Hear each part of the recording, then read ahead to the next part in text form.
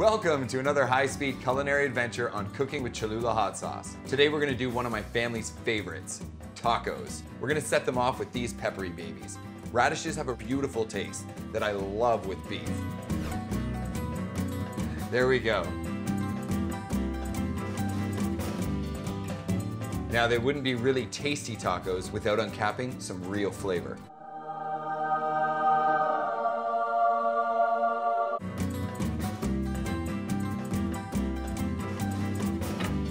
Let's see if the family vote with their feet.